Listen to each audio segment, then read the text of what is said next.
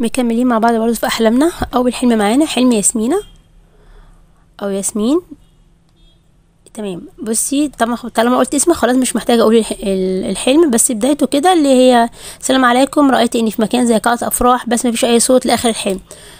بصي يا امل مصطفى محمد هو الحلم هنا بيوضح ان أنت عندك تعطيل وتعثرات في حياتك والأمر ده بقاله فترة تقريبا لدرجة إن أنت تقريبا شبه يأستي من موضوعك أو جالك كده إحباط إن الموضوع ده خلاص بقاله مدة بقاله فترة ملوش حل يعني في حالة كده من الإحباط شوية واليأس جالك لكن آه، بعد كده واضح إن في سعي يعني أنت عملتي حاجة التزمتي برقيه التزمتي بورد في سعي وكان سعي يعني جد مش حاجة مثلا هنا لأ يعني أنت نقول إيه مثلا التزمتي برقيه جادة أو التزمتي برقيه مكثفة أو عملتي لنفسك برنامج يعني اشتغلتي على نفسك فترة حلوة حلوة كده محترمة يعني وبناء على الجزء اللي انت التزمتي بيه ده سواء ورد أو كان رقيه ليكي بشرى ما شاء الله بعد كده بإذن الله يعني باسترجاع الحاجات اللي فقرت اللي فقرت منك. فرص راحت منك أرزاق ضاعت من. طبعا هي مفيش حاجة اسمها ضاعت يعني كلها بأوان وكله بأمر ربنا وأمر المؤمن كل خير بس المقصد يعني أنت في ظنك إن دي فرص راحت عليكي يعني. لكن إن شاء الله لا ليكي رزق وليكي نصرة وغلبة وصلاح حلو وتحقيق أمنية ربنا هيعوضك. ليكي عوض ما شاء الله يعني. اللهم بارك. وكمان في هنا إشارة ليكي بتمام أمور وإخر... آه، وإخراج سرقه أنا عارف إنك بتخرجي سرقات أو ده طبيعي يعني كلنا بنخرج ما فيش حد ما بيخرجش. لكن الاشاره يعني السرقه دي عن الحلم ده مخصوص. لأن أغلبكم بيقع في الحتة دي. لما بقول لحد مثلا خرج سرقه يقول أنا أصلا بخرج. أنا عارفه إن أنت بتخرج كلنا بنخرج. لكن جات لك إشارة حلم معين يبقى الحلم ده بالذات عايز سرقه ليه بقى؟ الله أعلم. دفع ضر زيادة مثلا تأثير زيادة تسهيل امور الله أعلم. فعليه زي ما جالنا في المنام نعمل. لكن كده كده إحنا ما شاء الله معانا البشرى وفي انتفاع. وطالما في انتفاع هنا من رقية يبقى إحنا نلتزم بيها ونستمر عليها. ومع الصدقات وكثره التسبيح والاستغفار إن شاء الله هيكون خير والله أعلم. معانا حلم بجوي الهوية بتقول رأيت أنني واقفة في حوش البيت ونظرت للسماء ورأيت طائرة تطير وراءها مركبة كأنها سفينة وكانت تطير وتخيلت أن فيها مسبح لآخر حلمك.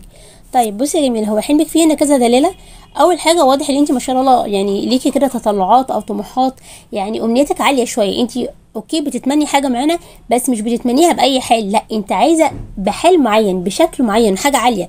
يعني فرضا واحدة بتتمنى تتخ- تتخطب وخلاص إن أنا عايزة أتخطب وبس. لا في واحدة عايزة تتخطب بواحد مواصفات معينة سن معين شكل معين.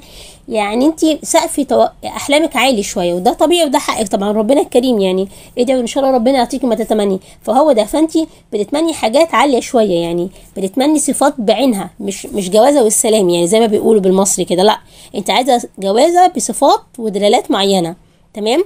وكان واضح إن في انتقال في حياتكم و يعني ورجعتوا ليه؟ انت أصلا بتقولي في الواقع أنتوا فعلا سافرتوا ورجعتوا. هو هنا بالظبط.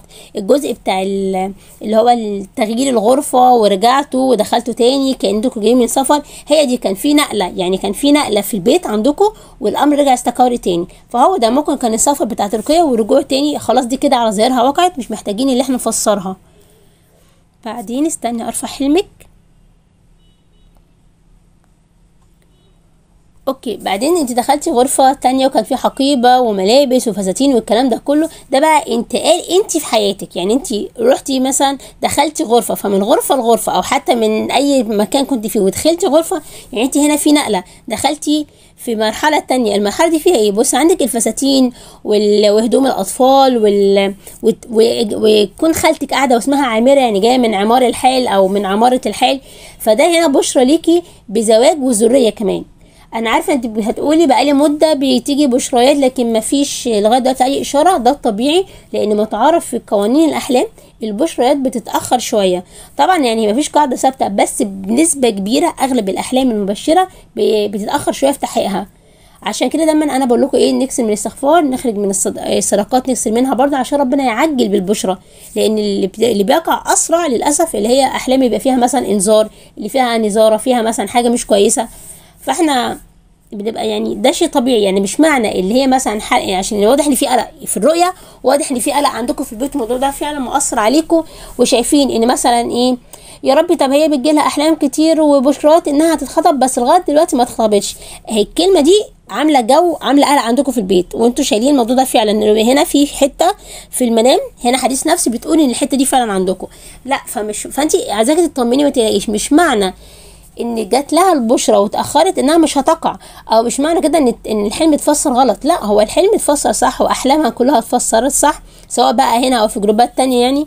وكده كده في بشرة لكن ده طبيعة الحال بتاعة البشرة إنها بتتأخر شوية. فهي بس مسألة صبر يعني كن فيكون. ربنا أعلم بالوقت المناسب ليها. لأن برضو واضح في الحلم آخره هنا إن هي لسه مش مستعدة للارتباط. يعني أوكي عزباء سن مناسب كل حاجة لكن كمسؤولية لا هي لسه محتاجة تتظبط في مسؤولية الزواج. يعني مش معنى إن هي كبيرة وعلى. على سن الزواج إنها تقدر تشيل بيت. لا هي محتاجة تظبيطة. فممكن عشان كده ربنا مأخرها. يعني ربنا لسه بيعدها بيعمل لها إعداد عشان تبقى إن شاء الله مسؤولة. لأن هو ده اللي بيقوله بقية حلمك. كده كده قلنا خلاص معانا البشرة إن شاء الله. فعلا في حد إن شاء الله هيجي يخطبها. بصي أنا معرفش الرواية دي شفتها إمتى يعني ممكن في خلال خمس شهور أو مثلا كانت في خلال خمس سنين تشوفي البشرات دي بقى لها بقى قد إيه معاها أو ممكن مثلا في شهر خمسة القادم.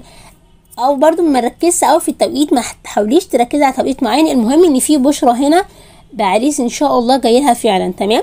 بس زي ما قلت لك برضو هي لسه مش مستعدة محتاجة إعداد شوية تبقى قد المسؤولية مش مش حكاية طبخ وبس لأ يعني البيت كيان البيت نفسه عايز حد يكون مسؤول حد حد يكون قادر مثلا إنه يتعامل مع مسؤوليات البيت.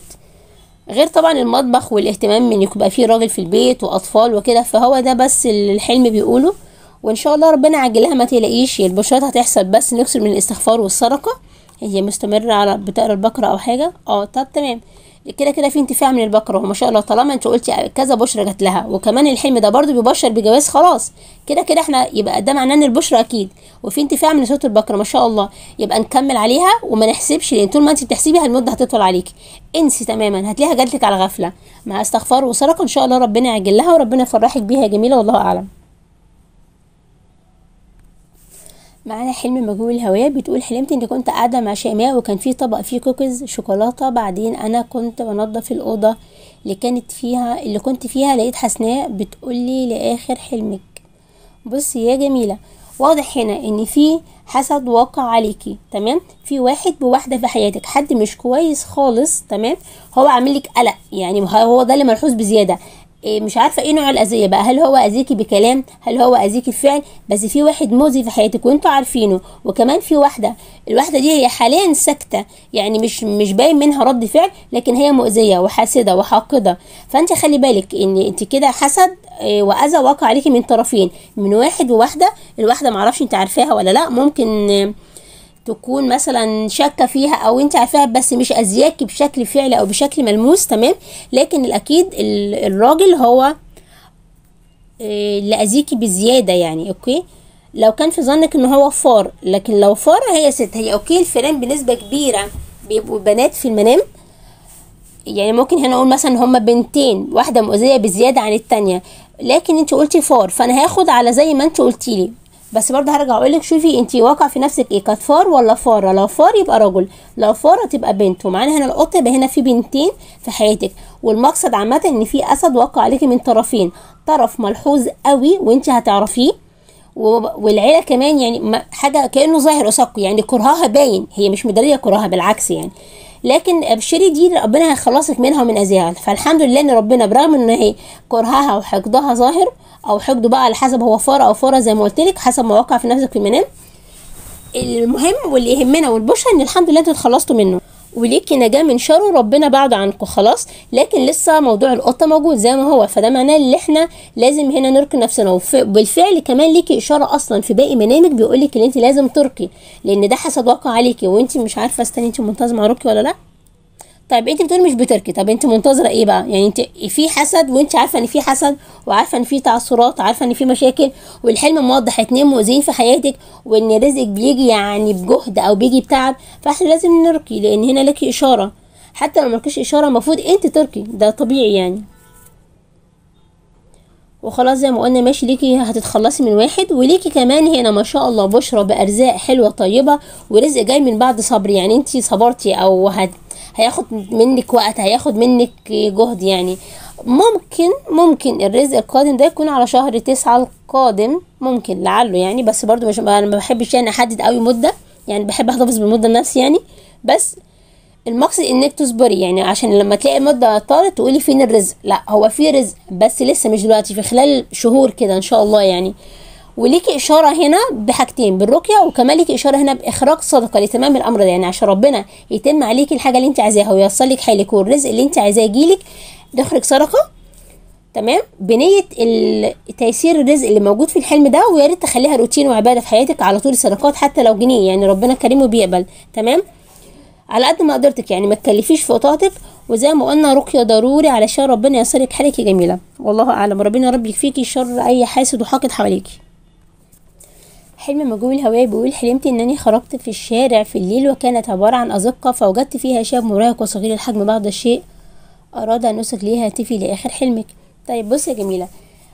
كون ان انت في شارع لأن حتة الشارع والليل تكرر معاكي هنا كذا مرة في حلمك. يعني الشارع والليل والضيق بتاع الشارع اللي كان موجود والكلام ده كله وكمان اللي كان عايز يسرق هات- الهاتف بتاعك ده كلها علامات حسد علامات كرب علامات تعثرات. انت عندك أمور متعثرة عندك كرب عندك إصابة حسد إيه، عندك مشاكل إيه، عندك ضيق في حياتك. يعني أمورك كده مش أحسن حاجة تمام؟ وليكي إشارة طبعا هنا إنك آه، تستخدمي رقية أو تمشي على رقية انت بتقولي مامتك بتشربي مك- مية مقروءه بس يعني ما بتعمليش حاجة أكتر من كده؟ يعني هو رقيتك الماء وبس. لو الماء وبس لا يعني لازم انت كمان إيه، تركي. يعني مش مش مية بس المية دي حاجة ضمن البرنامج. لكن لازم انت ذات نفسك تقري. تقري وتمسحي وتنفسي على جسمك. تقري وتمسحي وتنفسي على جسم ابنك. لأن ابنك كمان هنا واضح برضو إن في هنا إصابة. هي الإصابة اللي عندكم حسب ما موجود في الحلم عين. اللي وقع عليكم عين. فممكن كمان تكون عندي طالع ابنك. انت. لو كمان لو تلاحظي انت دايما بتشتكي انت بتقولي عندك آلام مزمنة في الكتفين وخاصة الذراع الأيمن.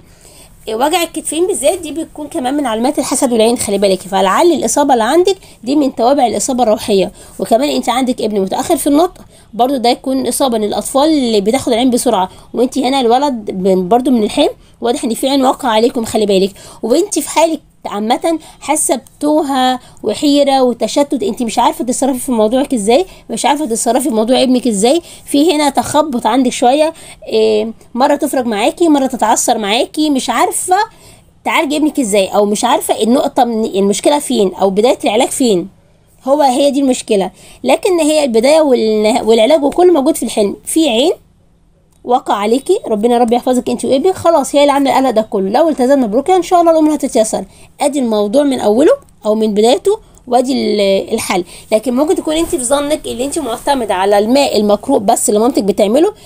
هو أوكي طبعا دي خطوة حلوة في العلاج ويعني من أساسيات برضو العلاج مش حاجة هينة. لكن ما ينفعش. انت برضو لازم تقرأي على نفسك وتقرأي على ابنك. يعني انت بتقولي مامتك محفظه القرآن ما شاء الله اللهم بارك ربنا رب يبارك في عمرها ويخليها. طيب بجمله بقى إنها بترقى على الماء لو هي ليها في الرقية خليها ترقي إيه يعني خليه مامتك تركي تركيه وانت برضو اركيه وانت كمان اركي نفسك لأن ممكن تكون انت مثلا المعيونة يعني انت اللي عليكي العين وعليه ال- الولد اتأثر يعني كان هو التابع مش هو الأساس يعني انت الأساس. فهو مثلا اتصاب الأغلب يعني لما الإصابة بتدخل بيت تحسي هي إيه تدخل على البيت كله بتلف كده. الإصابة بتتمكن على أهل البيت وأصحابه يعني. فأنا دلوقتي مثلا شاكة مش عارفة مين المحسود إيه، أنا ولا ابني؟ هو الوضع في الحلم أنتوا الاتنين. يبقى أنتوا الاتنين لازم تركوا. فانت غير المية يا ريت تلتزمي برقية صوت البقرة طبعا هي اللي هتجيب من الآخر يعني. وبرضو نركي بالماء أوكي ونغتسل. وبرضو تخلي ابنك يغتسل. يعني حاولي تخليه يغتسل بمية. مية مقروءه لو مثلا طبعا هو أنا ما أعرفش سنه قد إيه ما انت قلتيش سنه بس اللي هو صغير مش عارف الأذكار الصباح والمساء. لكن طالما هتخرجي بيه بره بيتك يا ريت تركيه قبل ما تخرجي بيه من البيت. ممكن يكون ابنك ما شاء الله مثلا في حاجة مميزة بتاخد العين. إيه ممكن مثلا في قبول ممكن يكون جميل بزيادة. ليميت إيه يعني حلو كده. في ولاد تخطف العين كده تحسها شقية ما شاء الله مثلا. ممكن والله الناس مش سايبه حد في حالها. يعني حتى لو ما فيش ميزة معينة ما تعرفيش مين حاسد على إيه. يعني أنت ممكن ضحكة ممكن آه، طقم شيك لابسه ممكن شعر ممكن بشرة. بصي الناس بقت نفوسها وحشة قوي. فهنا ابنك لو أنت هتطلعي بيه بره بيتك حد غيرك كده هيشوفه وأنت برضو براكي على ابنك. ارقيه. وقدام الأذكار وحصنيه طب أنت قاعدة مش خارجة بس هيجيلك ضيوف. لا قبل ما تخرجي الولد يكون مك... يعني مقري عليه كويس وأنت كمان تكون قاري على نفسك. عشان أنت برضو ما تعرفيش الأذى جاي منين. وإن شاء الله خير. يعني اللي انت في الآخر اللي انت ليكي هنا فرج وليكي مخرج التاكسي اللي طلبتيه ده واللي خلاص عرفتي الطريق يعني يعني انت طلبتي تاكسي عشان اعرفك الطريق. فمعنى كده ان انت ربنا هيرزقك هداية في أمرك. ربنا هير هير يعني هيرشدك هيرزقك رشاد. معنى كده إن شاء الله هتلاقي الحل هتعرفي تتوصلي للحل للكلب اللي انت فيه. فده انت فاهمة رقية وده خير. فانت ما تيأسيش واصبري بس زي ما قلت لك لازم رقية. ليكي ولابنك وإن شاء الله خير وربنا يا رب يكون عينك بيه ويحفظه لك يا رب. اللهم آمين. والله أعلم. حلم مجهول الهوية بيقول رأيت أخي المتوفي وأسرته في بيت والدي. وأنا وبنتي الكبيرة نزورهم ثم وجدت كأنه وقت الفجر لآخر حلمك طيب بصي يا جميلة مبدئيا كده ما شاء الله في إحياء لأمر هنا في حياتكم كان متعسر. ربنا هيسر لكم حاجة كنتوا بتتمنوها كنتوا بتسعوا ليها كنتوا عايزينها لكن كان متعسرة شوية. بس ما شاء الله أن أوانها وربنا هيجد لكم فيها الأمل تاني وإن شاء الله هتقضى. وفي بدايات داخله عليكم بدايات فيها فرج وفيها تغيرات للأحسن في حياتكم. دي دلالة. دلالة تانية غالبا هيكون عائد على بنتك يعني ما شاء الله. وهنا لي إيه، في أمرين. في أمر وإشارة يعني. أول أمر إيه، أخوكي هنا محتاج صدقة وغالبا هيكون صدقة متعلقة بحاجات قرآنية. بمعنى إيه؟ مثلا لو في دار إيه، تحفيظ قرآن يا ريت تخرجوا له فيها صدقة. هو عايز الصدقة بتاعته تكون في في المكان ده. عارفة أوقات كده بيبقى في مثلا آه، دار تحفيظ مثلا ناقصها كتب للأطفال زي نور البيان ناقصها مثلا لو حتى في مرتبات لل- لل- للمعلومات اللي هناك لو في حاجة تخدم الأطفال اللي هناك مصاحف صغيرة كتيبات إيه، كراسي حتى الدار نفسه سجاد للدار بصي أي حاجة يعني. المهم حاولي تساهمي بسرقه تكون من دار من اللي هي من دور تحف من دور تحفيظ القرآن يعني. هي دي سرقه اللي هو أخوك عايزها. ليه؟ الله أعلم. يعني هي صداقته طالبها كده. هو عايز طالب منك سرقه والسرقه دي زي ما قلت لك تكون حاجة متعلقة آه، بالقرآن. فاحنا مش ه... حتة بقى أجيب مصحف وأسيبه في جامع يعني الحكاية دي هي أوكي سرقه بس أصلا إحنا ما بلاش ندخل الجوامع دلوقتي. فحرام يعني يبقى المصحف في الجيب اتركن هو مش هينتفع بيه.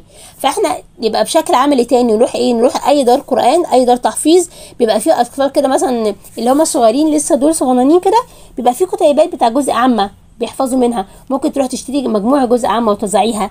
شوفي خشي انت الدار أي دار قريبة منك واسألي إيه اللي ناقصكم؟ أو مثلا ممكن تتبرعي هم بقى يحطوا تبرع زي ما هم عايزين. ممكن مية لل- للمجموعة اللي في الدار دي كلها صدقات بتخدم طلبة اللي هم حفظة القرآن. فما شاء الله تتخيلي بقى كم واحد هيتخرج وكم واحد هيبقى حافظ وكم واللي حافظ ده هيحفظ غيره واللي هيحفظ غيره هيحفظ غيره. وكل ده في ميزان حسناته. وبرده في ميزان حسناتك لأن أنت برده يعني ليكي نصيب في الصدقات دي. لأن أنت اللي بتسعي فيها. فهي هي أنت واخدة نفس الأجر. بس أنا بقولك تخيلي العظمة. يعني ما شاء الله كأنك بتصرفي على طلبة علم مش أي طالب علم ده طالب تحفيظ يعني اللي هما بت... أهل القرآن وخاصته يعني. فأنت تخيلي كم طفل هتاخدي ثوابه والأطفال دي لما بتكبر هتحفظ غيرها أو هتنفع غيرها. والدار على الأقل بتحافظي إن الدار هتفضل مستمرة على طول. شوفي يعني مثلا أضعف الإيمان لو هما بشقة ممكن انت تدفعي مرة إيجار الشقة. يعني في كذا منفذ. أنا بديك أفكار. بوسع معاكي إيه، أفكار صدقات يعني. بس هي دي الصدقه اللي أخوكي طالبها. وفي نفس الوقت برضو في إشارة ليكي هنا لرقيه أنا مش عارفة هل أنت عندك حد من غير زواج أمر متعسر شوية؟ فممكن يكون دي إشارة إن هما يقرأوا الرقيه وإن شاء الله هتلاقي ربنا ييسر لهم الحال. وكمان وجود المصحف في شنطتك فأنا شايفة فيه هنا صلاحا ليكي وزيادة آه، قرب من ربنا وما شاء الله يعني وكمان شايفة فيه برضو هنا زواج. حد أنا مش عارفة حضرتك مش ذاكرة عندك حد في سن الزواج ولا لأ؟ بس هي دي بشرى إن شاء الله في بزواج لحد من عند حضرتك يعني. وزي ما قلت لك آه، ال- اللي هو المفروض اللي على وش زواج ده والأمر متعسر شوية يركي نفسه ويا ريت يلتزم بسورة النور على الأقل لمدة أسبوع مثلا. سورة النور ورقيه بإذن الله هتلاقي ربنا ييسر الحال إن في هنا بشرى طيبة إن شاء الله بزواج طيب مبارك يعني. هو ده معنى الحلم كله والله أعلم. معانا حلم من جوه الهواء بتقول حلمت إن أنا وأخويا في علاقة كما بين الأزواج وحصل لي احتلام بالفعل وغالب أحلامي بتبقى من النوع ده على اختلافها بس أول مرة يحصل فيها احتلام. طيب بصي عارفة لو كنت قلتي مثلا أنا وأخويا في علاقة بين الأزواج ووقفتي على كده كنت هفصل لك الحلم. لكن طالما حصل احتلام في الحلم خلاص. يعني كده الحلم بيقول بطل يعني مش هاخد بيه. يبقى الحلم ده كده اعتبريه آه، هو حلم ما يعتبرش رؤية. يعني تبديه حلم مش هقول حلم من الشيطان بس خلاص يعني هو بطل يعني هنا مش رؤية. فأنا هنا عندي أنا ملهاش تفسير. خلاص يبقى ده الجزء بتاعي اللي هو الاحتلام. أما بقى عن سؤالك اللي أنت غالبا أحلامك بيبقى فيها جماع حاجة من الاثنين وانت اضرب حالك مني. يعني أنا أسف اللي هقول بما إن حضرتك مطلقه ممكن يكون ده احتياج يعني منك. يعني أنت محتاجة حاجة زي كده لأن يعني لأن كمان حضرتك خدتي قبل كده يعني تجربة جواز. فممكن يكون يعني احتياج عاطفي يعني أوكي؟ أو احتياج جسماني منك. وممكن لو انت شايفة ان امورك متعسرة بزيادة وان ليكي احلام كتير مش شرط الحلم ده يعني ده يكون من ضمن الاحلام. لا أنا عايزة احلام تانية. مثلا بتشوفي نفسك في اماكن مش نظيفة في اماكن مهجورة في اماكن فيها نجاسة حيوانات بتهاجمك شوفي نفسك مثلا مربوطة طب بتخرجي شعر من بقك بتخرجي خيط من بقك. يعني في احلام تانية بتوضح لي ان حضرتك عندك تعطيل؟ okay هنا أقول لك ان ده برضو احلام تعطيل وده يبقى كده علامة مس عاشق لكن ما أقدرش أقول لك على طول ان الجماع ده معناها كذا. فانت اضرب حالك مني. لا أنا ما عنديش احلام من كده خالص. هي مجرد بس اللي أنا بشوف الاحلام دي مثلا على اتكررت معايا مثلا كذا مرة. فزي ما قلت لحضرتك ممكن يكون احتياج يعني عاطفي وجسماني من ليك يعني أو الأحوط الأحوط طالما فانت يعني أنت الفيصل مش أنا الفيصل هنا. أنت الفيصل إن أنت أضرب حالك مني. لكن لو الأحلام دي متكررة بشكل كتير قوي باستمرار باستمرار بتشوفي نفسك في الجماع والحاجات زي كده فلعل دي برضو نقدر إيه, إيه برضو مش هخوفك واقول لك إن هي إصابة بس شبهة من إصابة ما ينفعش أعديها. يعني لازم آخد الأحوط لازم آخد بالي وأحصن نفسي علشان ما يصابش. لأن لو سبت بالمنظر ده بالذات أحلام الجماع المكررة المكررة أهم حاجة عندي يكون مكررة دي بتبقى إصابة مس عشاء فأنا ما بحبش أدي على طول إصابة كده. يعني أنا حتى لو لما باجي أفصل لحد في المنام واقول له إن في إصابة عشان أنا ببقى عارفة إيه تاريخ أحلامه يعني. يعني بيبقى عضو متابعاه مثلا بقى معايا من فترة في الجروب فأنا عارفة نوعية الأحلام. لكن ما باجيش كده على طول لحد بقول له أنت مصاب أو أنت عندك إصابة. لا ده تبقى بالعكس دي تبقى حاجات تأكيدات كل مرة. لكن أنت هنا أنت اللي هتفصلي في الحتة دي. أنت أضرب حالك بقى. تمام؟ وعليه الاحواط نلتزم بصوت البقرة ما تلاقيش يعني دايما تخليكي على وضوء أذكار صباح ومساء. الصلاة تكون بانتظام مفيش حاجة اسمها نجمع صلوات مفيش حاجة اسمها ناخر صلوات خليكي دايما على وضوء أذكار النوم مثلا أذكار الصباح والمساء. خلاص هتلاقي الأحلام دي هتبتدي تقل معاك إن شاء الله يعني بالتدريج. والبقرة كده كده هي للاحوط لازم يبقى ليكي ورد منها على الأقل كل 3 أيام أو قسميها هي على 3 أيام. المهم دايما تخلي نفسك محصنة علشان هنا في شبهة إصابة. خلاص أتمنى كده أكون يعني فسرت لك الحلم بكل تفاصيله وكل الوجهات بتاعته يعني. ربنا يا رب يحفظك ويكون عينك بما يسرك والله أعلم. معانا حلم من جوه الهوية بتقول حلمت إن طليق شقيقتي أتى لبيتنا ليعيدها إلى عصمته وهي تلبس فستان منزلي وخمار أخضر عدلته أمي لها لآخر حلمك. طيب بص يا جميلة هنا لو في إمكانية لو في مثلا احتمال لرجوع للطليق فلعل هنا رجوع ليها رجوع رجوع لطليقها تمام؟ لا طريقها صعب قوي الأمور مثلا وصل بينهم لحيطة سد مش نافع. فهنا الطريق يعني عودة أمر كان قديم عندها اللي هو متعلق بالارتباط. يعني هنا الطليق يبقى رمز للارتباط عامة. هي بكل الأحوال أختك ليها بشرى بالارتباط الفستان الجميل والخمار الأخضر ده ما شاء الله اللهم بارك. ده كمان يعني كون اللون الأخضر من أحلى الألوان اللي تيجي في المنامات هو اللون الأخضر. فده معناه ارتباط بحد على صلاح بحد على خلق. ومامتك كمان تعدل لها أمور إيه فستانها يعني سوري إن مامتك عدلت لها فستانها يبقى ده تعديل لأمورها تصليح لحالها زوال كرب عنها. والكون هو خمار كمان يعني ده فيه تمام ستر فما شاء الله اللهم بارك. خلاص؟ وكمان الطليق واقف مع بنت فسواء برضو كان الطليق أو حتى زي ما قلنا الزوج أو العوض الجديد اللي ليها جاي مع بنت يعني هنا في عوض جاي دنيا يعني العريس ده كمان هيكون ميسور لأن هو داخل معاه بنت يعني الولد داخل برزقه العريس داخل برزقه ما شاء الله. وانت بتبكي على حالك على حال يعني أختك اللي هي صعبت عليه كده خلاص ده على ظاهره. لأن أنت كنت متأثرة صعبان عليكي مثلا شايفاها اتظلمت حاسة إن هي يعني ربنا يعوضها عشان تفرح. فهنا دي مشاعر حقيقية ظهرت في منامك يعني هنا لأن أنت حتى بتقولي بتبكي على حالها لأنها عانت كتير. فخلاص ده هنا على ظاهره. فهنا يبقى بشكل عام لو في إمكانية لو في زي ما قلنا رجوع طليقها أوكي. لأ مفيش خالص وال... واستحالة يرجعوا لبعض يعني كانوا مثلا خلافات شديدة قوي أو المكان مسدود لا يعنينا في حاجة يبقى الطليق هنا هو كنايه عن الزوج أو رمز الزوج. وكونه ظهر معايا هنا إنه طليقها يعني بمعنى ان لأن الزواج كان حاجة قديمة يعني تجربة قديمة يعني. فهي كأن التجربة بترجع لها تاني حاجة مرت بيها يعني. لأن الطليق هنا ممكن يكون مثلا حاجة سابقة يعني وعادت تاني. خلاص؟ فإيه اللي سابق وعاد تاني؟ فكرة الارتباط ذات نفسها يعني الجواز ذات نفسه الفكرة. يعني هي دلوقتي قاعدة من غير جواز. وبس أنا كنت متجوزة قبل كده. خلاص يبقى الفكرة عادت علينا تاني. أتمنى اكون كده وضحتها لك. وزي ما قلنا ما شاء الله اللهم بارك عريس آه، على صلاح وعلى خلق وعلى دين وليها تمام ستر من الخمار اللي لبسته وتظبيط و... وترتيب لأمورها وفي تغيرات. وما شاء الله في حياتها الفترة الجاية الافضل يعني بإذن الله يعني.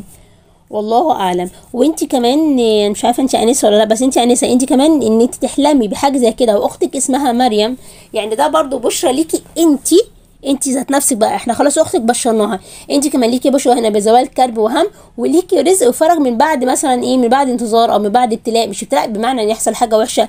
يعني مثلا انت كمان صبرتي على الأمر. ما أعرفش هل انت عزباء مثلا سنك متأخر شوية أو سنك شايفاه كبر شوية. يعني بس في هنا ابتلاء أو شدة يعني مريتي بيها لكن برضو ما شاء الله ليكي بشرى هنا بالفرج وزوال الحال وزوال سوري زوال التعطيل والكرب ده وربنا باذن الله هيسرها عليكم. فسواء عليكي أو ليها لأن الحالم ليه نصيب من حلمه وانت اللي حلمت لها فانت كمان ليكي نصيب منها. فأنتوا الاثنين ما شاء الله ال- ليكوا فرج يعني بس أختك هي يعني هنا واخدة نصيب الأسد شوية في الحلم يعني بس انت كمان برضو ما شاء الله يعني. فربنا يا رب يكون عنكم أنتوا الاثنين بإذن الله والله أعلم. معانا حلم مجهول الهوية بيقول واحد بيقول لي شوف الست دي أنده عليها قلت له دي بتاكل. ببص عليها لقيتها أكنها بتاكل عيش فاضي بدقة. وكنت ببكي بكاء شديد لآخر حلمك. طيب بص اللهم صل على سيدنا محمد. هو هنا ممكن يكون على ظاهره بمعنى حد هيلفت نظرك لحد معين تساعده. حد يعني مثلا أنا قاعد مع صاحبي أو حاجة فبنتكلم عن حالة معينة زي ما إحنا كده بنبقى بنتكلم مع بعض في الدارج ده في حالة كذا كذا محتاجة مساعدة. فهو هتتعرض عليك حاجة زي كده يعني هتيجي قدامك حاجة زي كده تمام؟ وكون اللي انت ان هي بتاكل عيش بدقة والكلام ده يعني فانت هنا إشارة ليك بإخراج صدقة على حد يكون مكروب. أنا عارفة إن أنت مكروب أنت كاتب في بياناتك استنى فين البيانات بتاعتك.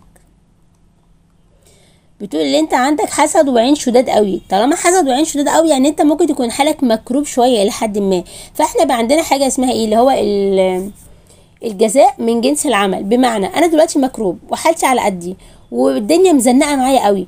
خلاص مش مشكلة. طلع. يعني انفق ينفق عليك. طلع ودي واحد مسكين زيك. زي ما انت ما فكيت. أزمة حد مسكين ربنا هيزق. يعني كمان هيفك زنقتك. هي نفس الفكرة. فدي حاجة دي دي دلالة من الدلالات يعني. فأنت برضو هنا شوف حد يكون مكروب إلى حد ما. إيه، وتصدق على حد يكون مكروب قوي وغالبا طالما هي كانت ست تشوف إيه، حد حواليك مثلا أرملة تكون مكروبة قوي هي أولادها. لأن في واحدة حواليك في كربة ممكن تكون أنت ما عندكش علم بيها. حاجة قريبة مننا في الشارع من الجيران حد قريب مثلا من المعارف حتى لو من بعيد في حد حوالينا يعني هي واحدة مكروبة. فلعل ربنا إن شاء الله يعني يجعلك سبب ويرشدك ليها فأنت فوق كربتها يعني بقدر ما تملك. يعني مش هنقول مثلا حاجة فوق طاقتك على قد ما قدرتك يعني. وربنا إن شاء الله هيقبلها منك. والبكاء الشديد اللي أنت بتبكيه ده آه، أنت جواك في الفترة دي أنت مضغوط نفسيا. في حاجة تعباك في حاجة مضايقاك في حاجة ضغط عليك حاجة إن أنت نفسيا مش أحسن حاجة. وكون كمان اللي أنت هنا من خشية الله على حال الست دي يعني أنت سبحان الله ال- جواك قلب نضيف اللي يعني في قلوب كده ما شاء الله اللي بتبقى شايلة هم غيرها. يعني أنا مثلا أنا مكروبة لا بيبقى صعبان عليا كربة غيري. مش أنا بس شايل همي بس ده أنت كمان خايف إن ربنا يسألك على الناس دي. يعني تقريبا كده زي حالنا مع مع حال أهل غزة مثلا. يعني إحنا كلنا مكروبين قوي لحالهم ومتضايقين قوي لحالهم وخايفين لا نسأل عليهم. وأكيد هنسأل يعني بس إحنا على قد ما نقدر يعني. اللي بيقاطع مثلا اللي اللي بيخرج صدقة اللي بيدعي يعني كل واحد على قد ما بيقدر بيجاهد في الحتة بتاعته. بس إحنا متأكدين ربنا هيسألنا عن الناس دي. فاحنا في حتة كده خوف. ده أنا بتكلم عن الناس اللي هي سليمة الفطرة. يعني في ناس للأسف شمتانة.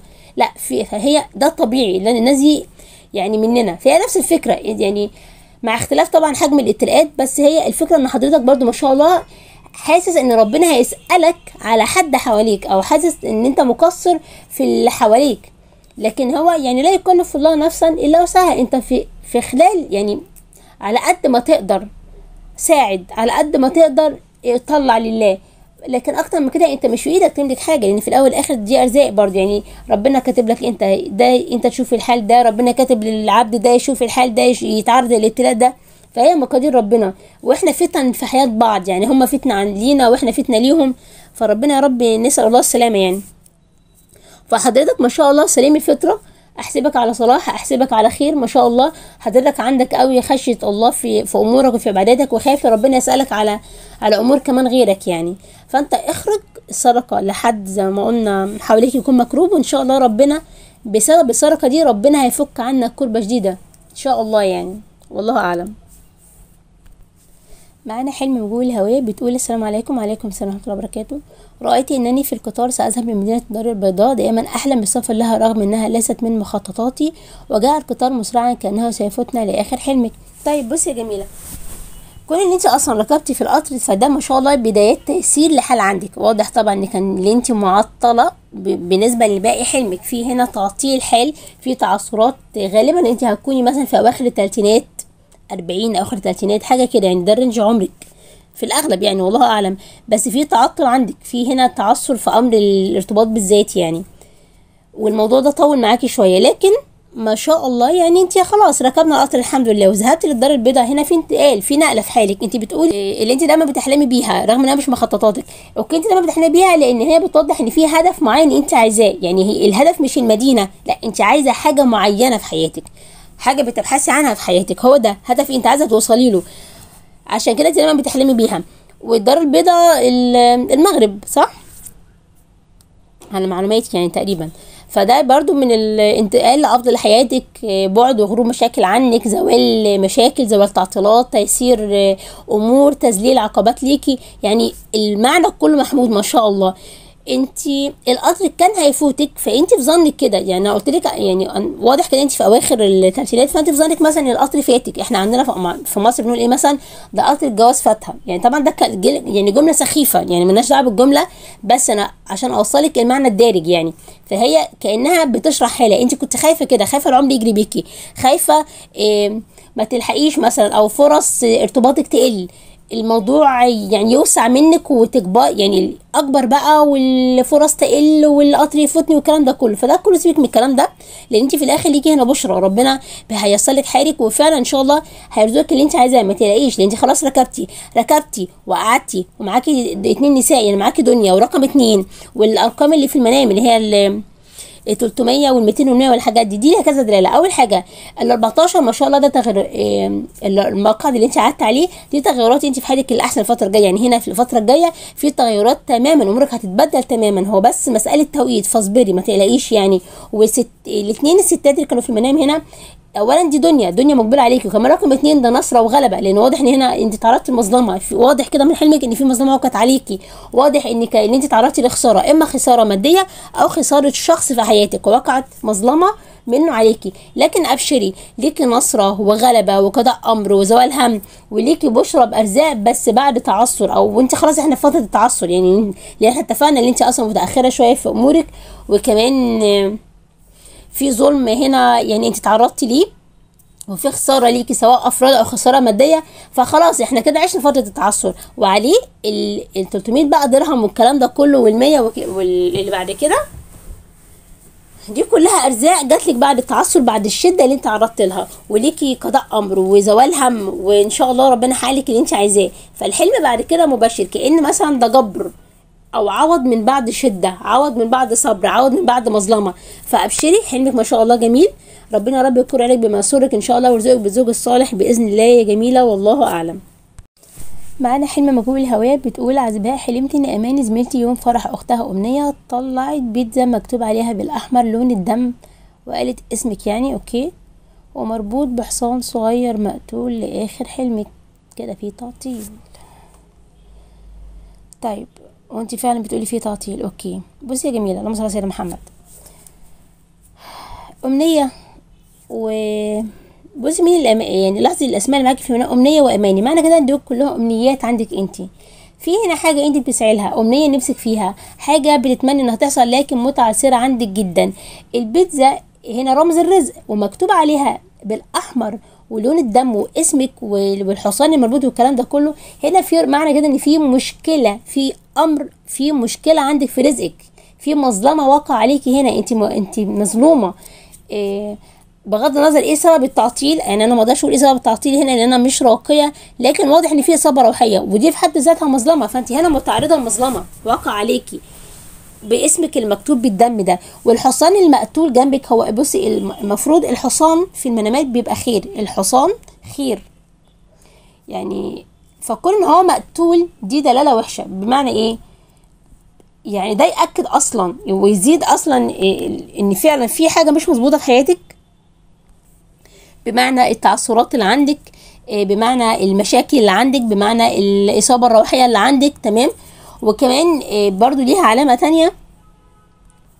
في ممكن خلافات في حياتك مشاكل في حياتك في إيه، نقول إيه مثلا يعني في إحباط عام كده في حياتك وأنت آسفة يعني فشلتي في حاجات كتير في حياتك يعني أنت مش قادرة تحققي نجاحات. لو أنا هبص في المعنى العام في حياتك فأنا الاقي في إحباط في فشل في تحقيق أمنيات في عندك خسارة سواء بقى خسارة مع أفراد أو خسارة مادية أو خسارة حتى معنوية. يعني بشكل عام انت ظروفك صعبة حياتك مش متيسرة حياتك كلها متعثره وبالرغم من كده انت بتتعاملي معاها معاملة غلط. ليه؟ لأن انت ده الحصان الميت ده انت عايزة ترميه في ترع. يعني مثلا بدل ما أشوف أنا عندي حصان مقتول والحصان ده أنا المفروض أتخلص منه مثلا. أنا أصلح الأمر. يعني مش أروح أرميه في ترع لأن كمان الترع مكان مش كويس. يعني كأن أنا عندي مشكلة بس هتعامل معاها بطريقة غلط. انت كمان مش متعاملة معاها بتص... يعني انت اسأتي التصرف في حياتك. انت عندك ما عندكيش حسن تدبير كده في... في تصريف امورك.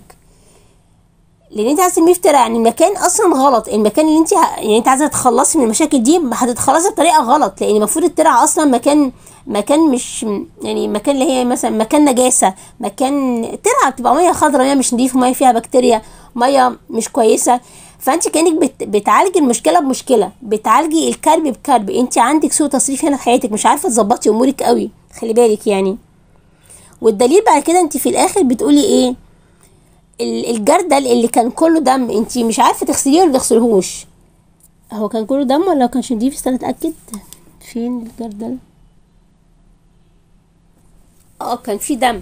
طيب ما دي حاجة هنا عايزة تتنضف في هنا حاجة لازم يت يعني طبيعي إنه تتغسل انت بتقولي لا أنا واقفة مش عارفة أغسل ولا ما أغسلش. ما هو ده اللي بقوله بقى من الأول اللي انت عندك سوء تصريف. حاجة عندك مش نظيفة. طبيعي إن أنا أغسل اللي أنا أزيلها اللي أنا أنضفها صح؟ حتى لو كانوا هياخدوه. انت بتقولي لو لو النظيف هيتاخد. لا ما ده غلط. ما هو ما ينفعش حاجة اسمها كده. بس طبيعي إن أنا أكون الحاجة حواليها تكون نظيفة. حتة بقى ياخدوها ياخدوها ليه؟ ما انت بقى مش مأمنة مش محصنة نفسك مش مظبطة نفسك. فهنا في لخبطة في حياتك وانت مش عارفة تديري حياتك مش عارفة تصرفيها كويس. حتة إن هما كله اشترى فستان إلا أنا انت شايفة إن الكل مثلا ربنا يعني يعني الناس اللي حواليك أمورهم ماشية إلا انت أمورهم سالكة إلا انت اللي اتجوزت اللي خلفت اللي اشتغلت لكن أنا حياتي واقفة فهو ده ظنك بنفسك. تمام؟ وطبعا محتاجة رقيه ضروري. انت مش بترقي وعشان كده بقولك انت برضو بتتعاملي مع أمورك بحاجات غلط. انت مش بتعالجي المشكلة اللي هو من لا شيء بلا شيء. يعني انت عندك مشكلة بس مش بتعالجي معاها. وحتى اليوم ما هتفكري هت... هتفكري بشكل غلط. معرفش بقى انت بت... بتعالجي أمورك إزاي ولا انت سايبة أمورك كده وخلاص يعني. سايباها مثلا نقول إيه زي ما تيجي تيجي. جت جت ما جاتش خلاص. ممكن تكون انت ماشية بالمبدأ ده. فانت هنا محتاجة رقية. انت كمان مش بتركي وده غلط. محتاجة رقية. ممكن تكون انت كمان مهملة في صحتك. يعني في عندك مشاكل في عندك مشاكل في منطقة البطن. إيه، قولون بقى. رحم. الاخبار هرمونات. بيرد مش منتظمة. في حاجة قلق في بطنك. ده برضو ممكن تكون انت مهملة في صحتك. مش واخدة بالك من صحتك. فانت لا مهتمية بصحة ولا مهتمية برقية ولا مهتمية انك حتى تبذلي مجهود عشان يعني تزيلي التعطيل اللي عندك ده. فانت أمورك كلها ماشية غلط. فخلي بالك خلي بالك انت هنا يعني الحلم ده حلم تنبيه حلم وقفة حلم كده جاي يعني يديكي يديكي spot على حياتك.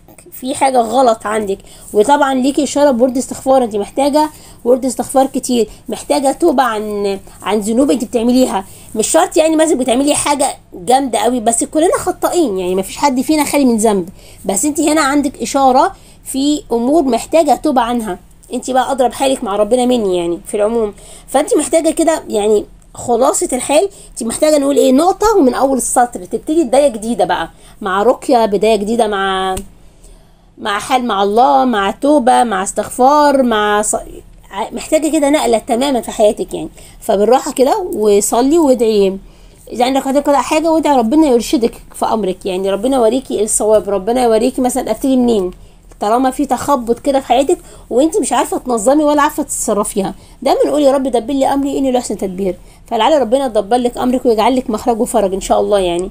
وييسر لك حرج وطبعا ضروري نلتزم برقية وورد استغفار وصدقات وإن شاء الله خير جميلة و... وأتمنى الحلم جاي يكون أحسن من ده يعني. أتمنى. وإن شاء الله نسمع عنك كل خير. والله أعلم. حلم مجهول الهوية بتقول خالتي يسرى حلمت إن أنا وماما بنستحمى في البحر وبعدين السما قربت من البحر والدنيا غيمت. فخالته قالت إيه ده؟ منال وسمر جوه. okay لاخر حلم؟ طيب بصي يا جميلة هو الحلم هنا عايد أوكي عايد جزء منه على خالتك نفسها وجزء برضه عليكوا فسواء خالتك أو سواء أنتوا واضح إن كان في تعثر وكرب ومشكلة داخله عليكم لكن ربنا نجاكم منها. يعني سواء الخالة أو سواء أنت ومامتك أبشرة أنتوا الاتنين كده بنجاة من كرب وزوال هم وصلاح حال ويسر من بعد عسر. يعني عارفة كده ما يبقى واحد مثلا بعد الشر ربنا هينزل كان هينزل عليه مثلا ابتلاء أو هينزل عليه مصيبة بس في آخر لحظة الموضوع ده اترفع. ليه بقى؟ الله أعلم. صدقة. دعوه تسبيحة كده في الخفاء. في حاجة رفعت الاذى ده عنكم في تيسير حال في زوال كرب في زوال هم في نجاة من كرب في نجاة من مشكلة ومصيبة كانت هتحصل. فما شاء الله يعني ده إحنا نخرج صدقة على يعني نحمد ربنا بس إن هو رفع عننا أمر كان هينزل. فهنا ده نجاة ليكم من كرب ان شاء الله يعني سواء أنتوا أو خالقكم وبرضه نخرج صدقة من باب الحمد بقى نحمد ربنا. الحمد لله إن هو من غير ما نعرف ربنا رفع عننا الكرب كان هيحصل. ربنا يا رب يبعد عنكم من الكربات ويحفظكم دايما يا رب. اللهم آمين والله أعلم. معانا حلم مجهول الهوية بتقول رأيت دخل شخص بالسر على أرض اليهود وهم نايمين واندفن في أرضهم بس هو بالأصل كان نايم صحيوا وجدوه وشفت والدتي متوفية في إيدها رغيفين من الخبز لآخر حلمي. طيب بصي يا جميلة الشخص اللي دخل ده اللي كان مجهول في منام ده أمر عاد عليكي انت كون ان انت دخلتي في أرض اليهود معنى كده إن انت تعرضتي لحسد أو هو غالبا حسد إن اليهود بيكونوا رمز الحسد في منهم انت بتقولي إن انت عندك إصابة بالسحر وحسد وعين لأ أنا هنا مش شايفة سحر قد ما شايفاها حسد بالأكتر. إيه تمام. فانت عشان كده انت دخلتي أرضهم يعني انت إيه إيه كأنك إيه مثلا واضح الوسط المحيط حواليك مش كويس الوسط اللي حواليك ناس حاسدة ناس حاقدة ناس مش كويسة. وانت يعني كأنك عارفة إحنا بنقول إيه مثلا بالبلدي كده دخل عيش الدبابيب برجله. فهي نفس الفكرة. انت دخلتي في الوسط ده فانت تعرضتي للحسد وكمان انت كنت أصلا تقولي في الأصل هو كان نايم يعني انت كنت في غفلة. كنت في غفلة. عشان كده تعرضتي للإصابة دي. يعني انت ما كانش في تحصين ممكن ما كانش في ركن في الأول ممكن مثلا كان في تقصير في عباده أنا ما أعرفش عبادتك عاملة إيه. إيه مثلا منتظمه مش منتظمة. يعني هتلاقي كان في عندك خلل يا إما في تحصين في أذكار صباح ومساء في رقية. حاجة حصلت عندك فهو ده اللي وقعك في الأذى ده اللي دخلك في العالم ده اللي هو عالم الرقية بقى عالم الإصابة الروحية عامة. عشان كده أرض اليهود اللي هو الحسد والعين يعني. بس تقولي في الآخر إيه؟ كان نايم وصحيوا كان نايم وصحوا يعني انت هتصحي في الآخر يعني كأني مثلا كنت في غفلة وهتفوقي. هتعرفي بقى آه لأ في مشكلة عندي لأ في تعطيل طب أنا آخد بالي طب أنا لازم ارقي هتعرفي إن في حاجة مش مظبوطة في حياتك. هي دي الصحوه اللي جات لك يعني؟ وجود والدتك المتوفية ربنا يرحمها ده إحياء لأمرك أنت كان متعسر وبشرى ليكي في فرج إن شاء الله وزوال كرب وهم والرغيف والعيش كانت ماسكاه في إيدها ليكي ولأخوكي. فده أرزاق ليكي أنت. دي ده رزق طيب إن شاء الله هيجيلك يعني. ورقم أربعة اللي هو الدنانير اللي أنت شلتيها ده برضو زوال كرب وزوال هم واطمئنان ليكي وراحة. من بعد خوف تمام؟ ليكي هنا يعني في مثلا أمن من خوف يعني ورزق إن شاء الله. الشرطي بقى اللي هو مصمم يدخل ويدور وعايز يشوف البير والكلام ده كله الشرطي هنا ده رمز للرقية بتاعتك يعني. هنا حاجة مشروطة اللي انت لازم بالرقية هتتخلصي من الوضع ده. والبير اللي انت عايزة يشوفوا إيه اللي جوه البير زي ما بتقولي هنا برضو البير ده رمز الإصابة. فمعنى كده يعني طبيعي ده رد الفعل بتاع الإصابة أو العارض يعني أنا مثلا بركي فالأمر مش هيبقى هين. لكن أنت الشرطي ومصمم يدخل جوه يشوف إيه الموضوع فهي دي رقيتك كأنك بتزاحمي برقيتك بتجاهدي بتحاربي بالرؤية بتاعتك. يعني أنا داخلة بقلب جامد ومعايا الرقية بتاعتي. هي دي بقى اللي هتجيب الخلاصة واللي هتجيب الموضوع من أوله وهتجيب لك اللي جوه البير واللي حصل والكلام ده كله. تمام؟ هو ده رمز الشرطي اللي داخل دخلة جامدة كده يعني. فمعنى كده إن في انتفاع من الرقيه طالما داخل الدخله الجامده دي ومصمم okay ولأ بس ال والمسؤول اليهودي اللي هو هنا رمز الإصابة عندك أو العارض. لا واقف للشرطي ند بند. فده الرد فعل طبيعي. الرقيتك والعارض. العارض اللي هو الاذى اللي هو الجن اللي هي الإصابة اللي عندك يعني. فدي قصاد دي. بس مين اللي غالب هنا؟ العارض ولا رقيتك لا الرقية بتاعتك. ليه؟ لأن الشرطي هو اللي صمم وبص. فطالما أنا هبص عشان أجيب إيه اللي في البير يعني أنا هجيب الإصابة من جدرها. هعرف إن شاء الله أخلصك منها. معنى كده إن أنت رقيتك أقوى. وكمان بوجود مامتك. والأرقام الموجودة برضو أنت اللي هنا في موقف قوة في موقف نصرة. يعني برضو انت رقيتك أقوى. فدي حاجة جميلة فاحنا نستمر عليها. تمام؟ إيه بعد كده الجزء التاني بقى اللي هو كان البرغل اللي تاكليه انت واخوك كان طعمه وحش ومش مش مستساغ وانت رميتيه وهو رماه والكلام ده كله. دي كانت فرصة عندك بس يعني ما حصلش فيها نصيب. ممكن مثلا كان فرصة ارتباط وما اكتملتش كان رزق ومثلا وما اكتملش وبرده نفس الأمر على أخوكي. يعني كانت قصادكم أرزاق في حاجة معينة لكن ربنا ما رش ليها إنها تكتمل. لكن الحلو بقى في الموضوع إيه؟ إن ليكي بشرى بالعوض. يعني إحنا ليكي بشرى هنا بالشفاء وعوض. تمام؟ واستني بتقولي بايه باسم خالد تمام. والمفتاح اللي هو اللي يكون في ال- اللي هو المفروض يبقى معاكم في البيت والمكنسه بالكهرباء الكلام ده كله ده بقى بشرى ليكم ما شاء الله بفتح ونصر وغلبة وإجابة دعاء وهتفتح لكم أبواب رزق. والمكنسة بالكهرباء دي ده زوال كرب وهم عندك بسرعة يعني بشكل أسرع ما كنتي تتخيلي. وفي هنا توبة ليكي من ذنب وصلاح حال فكأن أمورك تبدلت تماما وما ده معناه انتفاع من الركن اللي انت شغالة فيها وكمان ليكي إشارة هنا في الحلم بتاعك. أنت مش عارفة أنت بتركب إيه بالظبط بس يا ريت الفترة دي بجانب الركنة بتاعتك تقرأي آه، سورة الحديد التزمي بيها. هيكون ليها هنا برضو أثر طيب وانتفاع أكتر في ركيتك إن شاء الله. على الأقل مدة أسبوع متواصل يعني. خدي الحديد جنب الركية بتاعتك. خلص الأسبوع خلاص وقفي وارجعي ركيتك عادي. لكن أنت محتاجة الفترة دي سورة الحديد. هيكون لها أثر طيب في الركية إن شاء الله يعني. والله أعلم. وطبعا ما ننساش الصدقات. عشان ربنا ييسر لنا الحال. وإن شاء الله تم شفاك على خير يا جميلة. معانا حلم قطرة ندى. طالما قلت اسمي خلاص مش محتاجة أقول لك الحلم بتاعك. بصي يا جميلة. بصي يا قدرة الندى ال- اولا واضح اللي انت فيه هنا آه، حسد يعني من واحدة في حياتك. هي ست كبيرة في السن تمام؟ وبصلك بصة وحشة قوي في حياتك. يعني عارفة انت كده الست اللي قرشة ملحتك. هي كده. هي يعني مش طايقاك لله في الله. فيها بصالك كده مش راضي عليكي في حاجة. مين دي بقى انت اضرب حالك مني؟ مين دي مو... إيه موقعها؟ إيه في حياتك؟ انت أكيد عارفاها وحاسة بيها. بس هي يعني إيه يعني في كده عداوة في عداوة بينك وبينها. حتى لو انت نيتك خير أنا ما أعرفش نيتك ليها إيه لكن هي هي العداوة جاية من نيتها أكتر يعني من ناحيتها أكتر. فهي بصلك بصة وحشة قوي هي مش راضية عليكي. ممكن تكون مثلا إيه مركزة في رزقك في حتة معينة وده عامل لك انت تعطيه لأن ده كده يعتبر إيه حسد وقع على رزقك. وبالفعل بسبب الحسد ده في فعلا فرصة راحت عليكي في شيء. يعني حاجة كنت انت بتسعيها حاجة كنت بتمنيها ما حصلتش. وده بسبب العين الجامدة دي. تمام؟ لكن بالرغم إن في الأمر اللي انت بتسعيه ده متعسر بزيادة عندك إلا إن شاء الله ابشري ليكي فرج ومخرج. بس مش دلوقتي خلال 3 شهور تقريبا. الفرج. يعني لو في حاجة انت منتظراها متعسرة بزيادة وشايفاها عمالة تضيق معاكي في حتة معينة مش عارفة تظبطيها لا أبشري ليكي فرج. بس زي ما قلنا في خلال 3 شهور في الأغلب يعني والله أعلم طبعا. وزي ما قلنا طب مش عارفة انت بتركي ولا لا. انت بتركي؟ استني كده. أذكار الصباح والمساء. ماشي أذكار الصباح والمساء حافظه طبعا. يعني دي حاجة حلوة من باب التحسين. بس أنا خلاص أنا وقع عليا حسد. يعني أنا آه، أساسا خلاص اوريدي اتحسدت. أنا اتحسدت. فأذكار الصباح والمساء دي تحصين ده حفظ دي حماية. يعني كأني مثلا إيه ما زي الأكل والشرب كده يوميا حد ينفع ما ياكلش ويشرب في اليوم بتاعه؟ لأ. فهي الأذكار والصباح والمساء هي دي الأكل والشرب بتاعك. لكن أنا دلوقتي أنا عييت. الطبيعي آخد دواء آخد مضاد حيوي ففين بقى رقيتك لأن أنت خلاص إصابتي بالحسد. هنا في إصابة حسد. ده اللي واضحة. فاحنا لازم نحصن نفسنا. يعني مثلا يا ريت تلتزمي برقيه أو سوره البقره مع اذكار الصباح والمساء. هتفرق معاكي وهتيسر لك. كده كده إحنا معانا بشر بالفرج. كده كده الخير جاي إن شاء الله. الأمور هتتيسر بإذن الله كمان كام شهر. لكن أنا خلاص اتصبت. فأنا اتصبت. فأنا هعالج نفسي بالبقره وبرقيه شرعية. وفي نفس الوقت أحافظ بقى على الأذكار زي ما انت محافظة كده عشان ده يامني أنا بقى طول حياتي. لأن أنا طالما في واحدة قريبة مني واحدة في حياتي حاسدة أنا هأمن مكرها إزاي؟ واحدة أصلا حقودة واحدة نفسها تعبانة واحدة إيه، مش حابة الخير لغيرها. طب أنت هتأمني مكرها إزاي؟ ما هو كل ما أشوفك هتحسدك. فأنت لازم كل ما تشوفيها تكوني محصنة نفسك. ما هي ما تجيش غير كده. ما تجيش غير كده. فأنت لازم تبقي محصنة نفسك طول الخط. ما ينفعش تتهاوني أو تتكاسلي لأن كله هيجي على دماغك في الآخر. فأنت خلي بالك.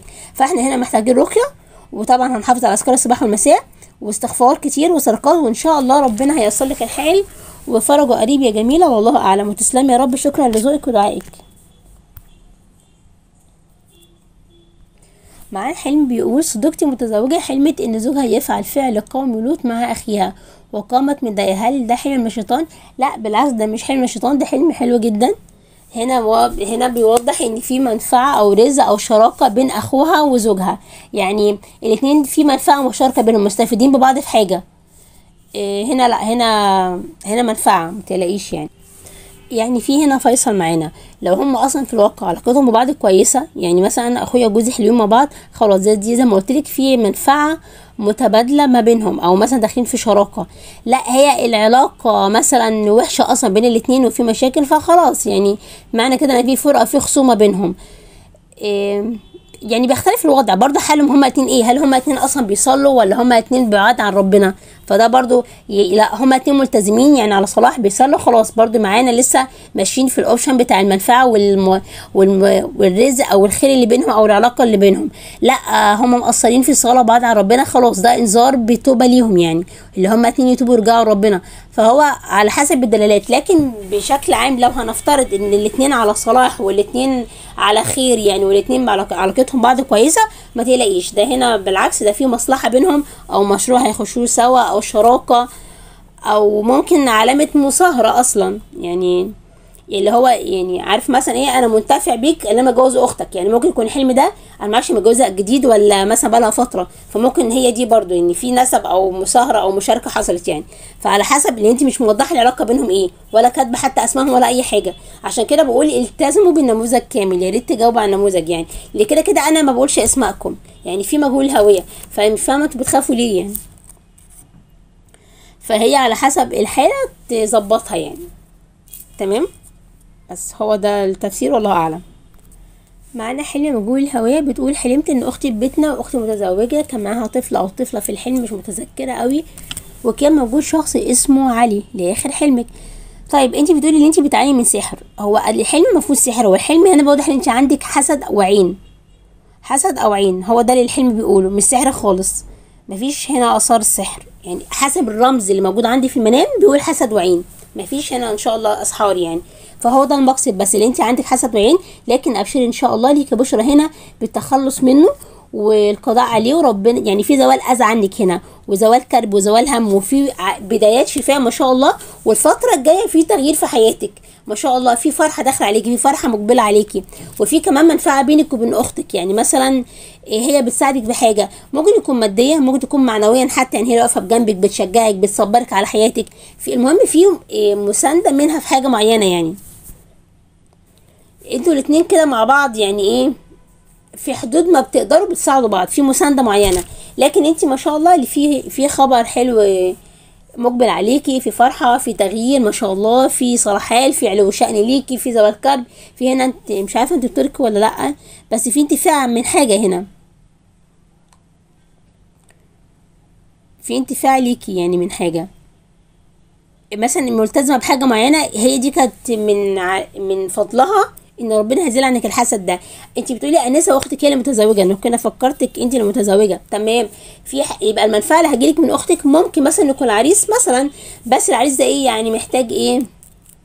تعديل في صفة معينة. يعني مثلا أنا جايبالك عريس okay؟ هو حلو بس يعني في كده كام comment عليه. لا محتاج كام صفة كده تتظبط. فأنت هتظبطيهم هتعرفي تتعاملي مع مع الصفات دي وهت... وإن شاء الله هتقبلي بيه عادي يبقى في فرحة يعني في الآخر. لأن هو ده انت أخدتي منها حذاء صح؟ طب الحذاء ده عريس. فانت أخدتي منها الحذاء هو أوكي ما كانش مظبوط انت عملتي تغسلي فيه يعني فانت ظبطتي حالك يعني. لكن في الآخر اللون الأصفر اللي فيها دي حاجة حلوة بقى دي خلاص دي الفرحة اللي جاية عليكي. فأبشري. فلعله ده هما هيكون في عريسين خلي بالك في عريسين جايين لك.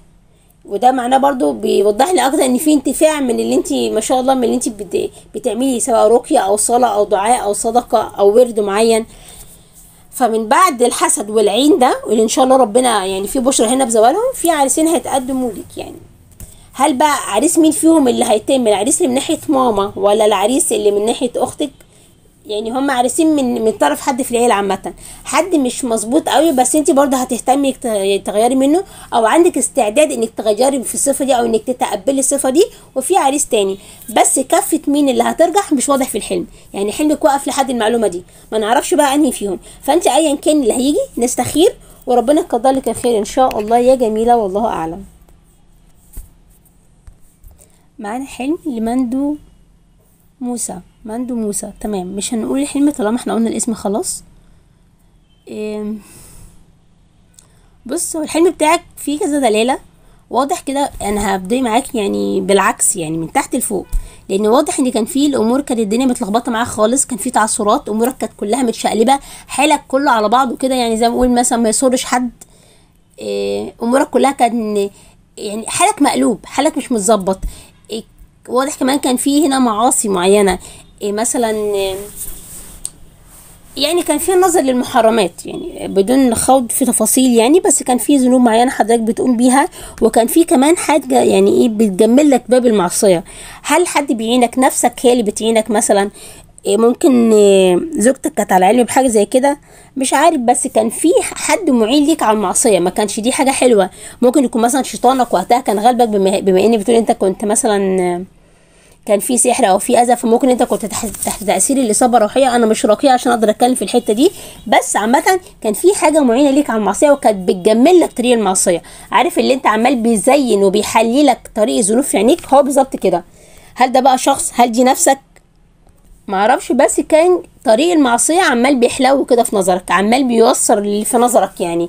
وده وقصاد انت استمريت شوية في المعصية دي قصاد الفترة اللي انت استمريت فيها في معصيتك خسرت فرص خسرت أرزاق خسرت حالك مع ربنا يعني كان في خسارة. بس انت برضو كنت مكمل يعني الموضوع جاي على هواك الموضوع يعني نعم الله الحمد لله لعل الله إن شاء الله ربنا تبعنك يعني لأن في الآخر انت هتفوق لحاجة زي كده يعني انت هتبطل حاجة زي كده. لا خلاص يعني كأن مثلا هتجيلك فوقة. يعني أنا الواحد أحيانا بيبقى بعيد عن ربنا قوي مذنب قوي عمل ذنوب كتير أثر في حق نفسه كتير أثر في حق ربنا طبعا في المقام الأول كتير. ونقول إيه مثلا اسرفت على نفسك في المعاصي يعني. لكن الحمد لله يعني بغض النظر بقى دايما جاهد نفسك عشان لو تكون نفسك هي اللي هي النفس الأمارة بالسوء ممكن. أو مثلا لو في صحبة مش كويسة في حياتك ابعد عن الصحبة دي علشان تلاقي دايما جنبك صحبة صالحة تعينك صحبة صالحة تجاهدك فالمهم في في الموضوع إن حالك تبدل الحمد لله. يعني من المعصيه لتزيين طريق المعصية للكرب لحالك المقلوب للتعثرات المشاكل اللي بينك وبين زوجتك اللي كان واضح إن الأمور بينك وبين زوجتك مش حلوة خالص. برضو كان في مشاكل وكان في توترات. الأمور دي كلها الجميل ما شاء الله إن الحال تبدل معاك تماما.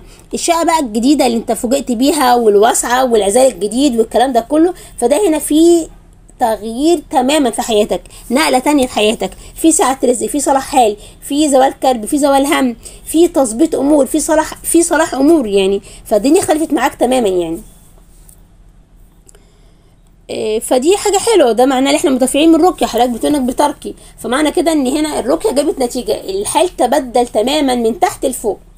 فأنا استمر على الرقيه دي. لأن ما شاء الله واضح إن اجابه مفعول يعني. وطبعا نوصل الاستغفار والصدقات وتاج الذكر. وإن شاء الله ربنا يصلك الحال ويديم عليك بقى نعمة اللي هو نعمة الطاعة نعمة القرب نعمة الحفظ. رحب يعني ربنا دايما يبعد عنك أي طريق حرام ويبعد عنك الشيطان اللي بيجملك طريق الحرام يعني. وربنا يا رب يحفظك أنت وزوجتك والله أعلم.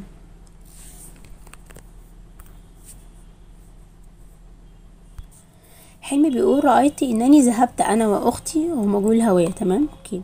رأيت إنني ذهبت أنا وأختي سيرين إلى محل الأحذية وقالت لي أحمل 100 شيكل سأدفع عنك لأنك دفعت عني بالمرات السابقة لآخر حلمك طيب بصي يا جميلة واضح ان انت واختك سيرين سركم مع بعض. يعني انت وهي ما بنقول كده إيه ستر وغطا مع بعض. هي بتسندك في حاجة انت بتسنديها في حاجة. هي بتشيل عنك في حاجة انت بتشيل عنك في حاجة. هي بتداري عليكي في حاجة وانت بتستر عليها في حاجة.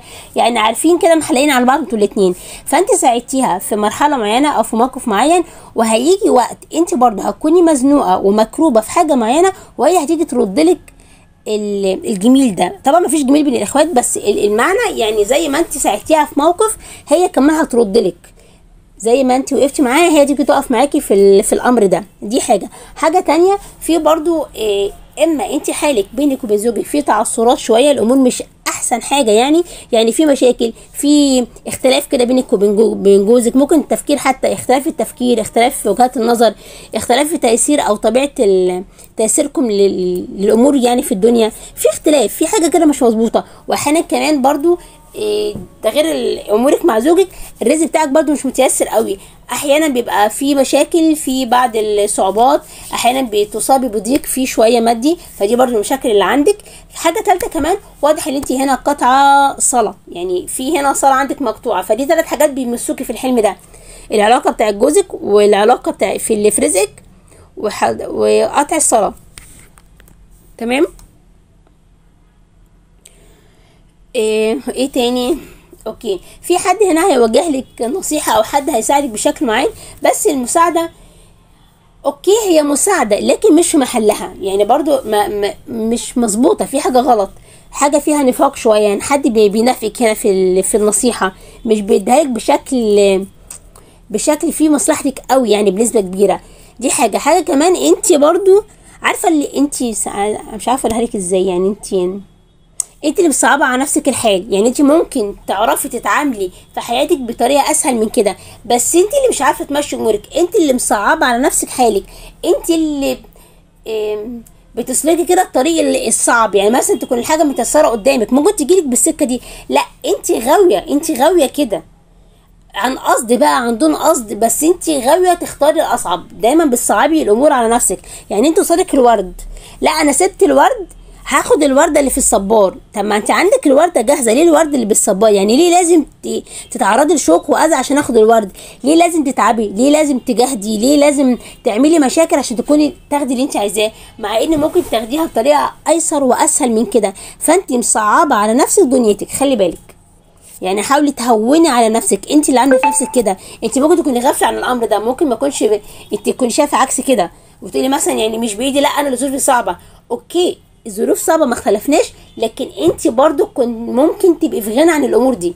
كنت ممكن تسهلي على نفسك كتير بس انت اللي بتختاري الطريق الأصعب. فحاولي تعيدي كده ترتيب أولوياتك ترتيب أفكارك ظبطي أمورك طبعا. دي حاجة حاجة كمان إيه صلاتك صلاتك ثم صلاتك ثم صلاتك. يعني ما ما ينفعش أقول لك مثلا أمورك هتظبط وأنت قاطعة صلاه ما ينفعش. يعني إزاي؟ يعني أقول يا رب اصلح لي حالي وأنا وأنا رافضة اسجد له حتى. طب بالمنطق. مش هتيجي طبعا. فظبطي حالك مع ربنا عشان ربنا يظبط لك حالك. اصلحي حالك مع ربنا عشان ربنا يصلح لك حالك. وحاولي تختاري كويس. يعني حكمي عقلك مظبوط كده. حاولي ت... يعني تقنني أولوياتك شوية. تختاري صح. تظبطي أمورك صح. لأن انت بتختاري الأصعب دايما. بتختاري الطريق الأصعب. بتختاري غلط. اختيار اختيار غلط. فربنا رب دايما ييسر لك كل عسير ويسهل لك أمورك بشكل عام والله أعلم. معانا حلم الأستاذ أحمد مجدي. مش محتاجين نقول حلم طالما قلنا الاسم. تمام. بص يا أستاذ أحمد واضح هنا أنت السلسلتين اللي أنت عايز تشتريهم دول غالبا هما هيكونوا زوج يعني في زوجتين يعني زوجة وزوجة. يعني زوجة عندك وزوجة أنت ناوي ناوي تشتري ناوي sorry تشتريها. sorry. ناوي مثلا ترتبط بيها okay؟ بس خلي بالك واحدة من الجوازات دي فيها مشاكل. هتجيب لك من وراها مشاكل. هل هي بقى الزوجة الأولى؟ هل هي زوجة جديدة؟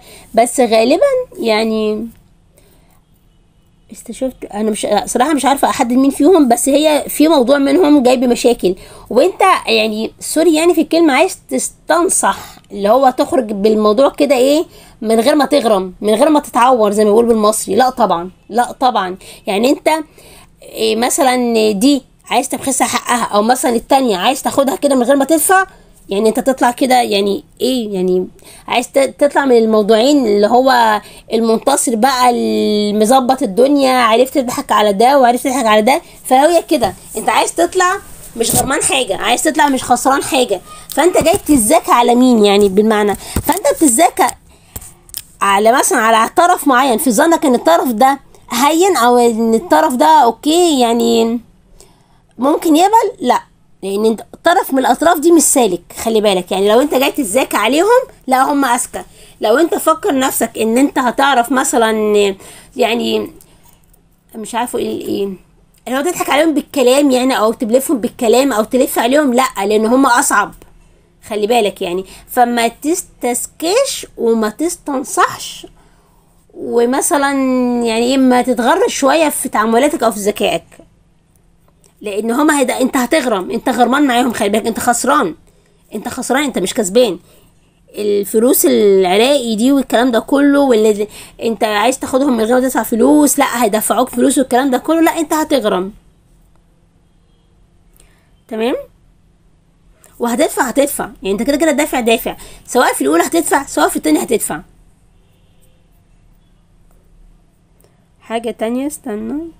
بعدين بقى بقيت أشوف أرفع بس الحلم. بيها عشان ما اخدش باله وانت عندك حاجة في نيتك يعني انت سواء الأولى أو التانية انت في قرارة نفسك مخبي حاجة جواك. مخبي بقى إيه مثلا؟ تاخد التالتة مثلا وتسيب الاتنين تقدم بالاتنين فتختار واحدة تالتة غيرهم. ولا مثلا انت في دماغك خطة معينة بحيث تضحك على دول وتضحك على دول. المهم انت في حاجة في قرارة نفسك انت مكتمها. انت انت ناوي على نية. انت ناوي على نية. بس النية مش سليمة قوي. النية اللي هي برضو إيه, إيه زي ما قلت لك مثلا تضحك على دول وتضحك على دول أو تطلع كسبان من هنا ومن هنا. إيه تطلع مثلا بأقل الخساير فأنا معرفش صراحة إيه النية اللي انت مبيتها. بس انت ناوي على حاجة جواك. ممكن تكون لسه مش قايل لحد عليها لغاية دلوقتي. لكن انت في حاجة انت بايت عليها يعني. دي حاجة. حاجة تانية برضو. في حد مثلا حد منهم سواء الأولى أو التانية. في مثلا يقول لك إيه مثلا إيه سيب الحاجة هتيجي لحد عندك. يعني مثلا أنا لما أفضل أتحايل عليك. مثلا أنت أستاذ أحمد أفضل أتحايل عليك في حاجة. كتر ما بتحايل عليك انت هتتمرع يعني انت هتسوق فيها من الآخر. لكن لما اسيبك وامشي انت هتيجي. فنفس الفكرة انت هتعمل نفس الفكرة دي مع حد من, زو... من اللي هي من الأولى للتانية اللي انت عايز تتجوزها. يعني من كتر ما انت يعني مدلوق قوي على الموضوع والموضوع معروف ودي حاجة واضحة قوي فانت هتيجي عليك فترة وممكن تكون الدنيا اللي انت مبيتها. يعني مثلا طنشهم بالمعنى هم هيجوا هم هيجوا لك يعني.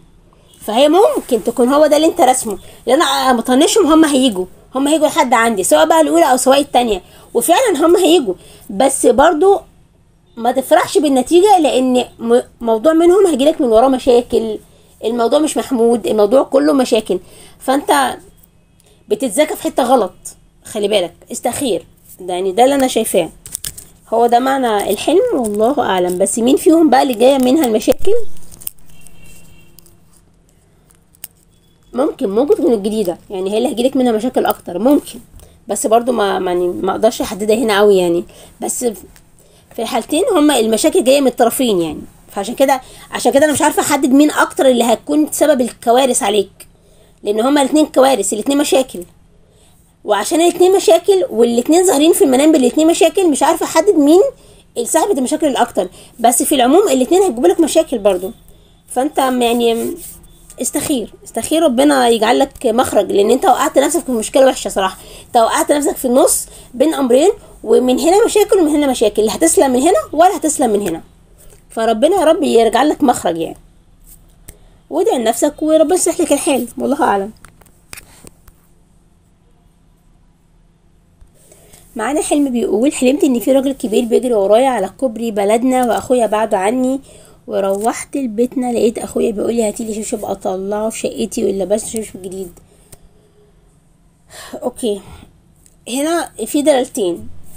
أول حلم آه sorry أول دلالة إيه انت هنا بصي في انت مضغوطة انت في مسؤوليات في حاجة بتهربي منها يعني في مسؤولية محطوطة عليكي. أمر أصعب أكتر أو مش أصعب فوق طاقتك شوية. فانت خلاص بقى انت فاض بيكي أو حاسة إنك عايزة حد يشيل عنك شوية عايزة حد يفك يعني معاكي الليلة زي ما بيقولوا. فهو في ضغط في مسؤولية في حاجة انت شايلاها أكبر من طاقتك الفترة دي فأنت مضغوطة. مضغوطة وعايزة حد يشيل من المسؤولية شوية من عليكي يعني. دي دلالة. الدلالة التانية هنا عايدة على أخوكي. إيه اللي هو بيبشره بارتباط بقى. يعني ده اللي هو تمام ارتباط على خير. في تجربة في أمر مقبل عليه. هو جواز وانتوا لي أصلا هو هيتجوز قريب؟ فخلاص دي على ظاهرها لأن هو واضح فعلا هنا ان اخوكي داخل على زواج. لكن انت في انت الفترة دي بس مضغوطة ومسؤوليات عليكي بزيادة. فانت تحسي انك عايزة تهربي عايزة تفصلي من الجو التوتر ده عايزة تفصلي من جو الضغط ده. بس هو ده معنى الحلم يعني. يعني هي حاجة بتعبر عن نفسية ليكي وفي نفس الوقت بشرى بارتباط أخوكي وعقبالك يا رب إن شاء الله قريب والله أعلم.